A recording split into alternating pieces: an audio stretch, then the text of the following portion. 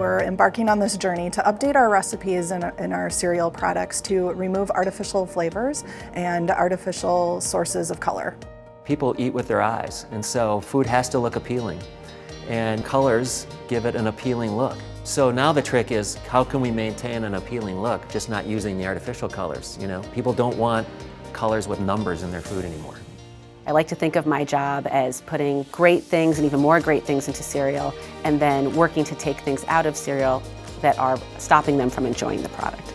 I have four kids, so I talk to parents too. And you know, increasingly what we hear from them is that uh, they want their food to be as real as possible.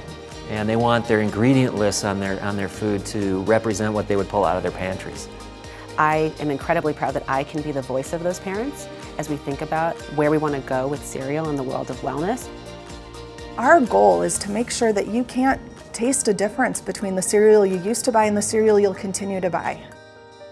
Once we got the decision made to do this, and once, once we knew the direction we were headed, we have the best people in the industry to make this happen in a way that the consumer was, is going to come out at the other end, not only liking the taste of the product, but liking it even more because it doesn't have all the, all the artificial stuff that they don't want anymore.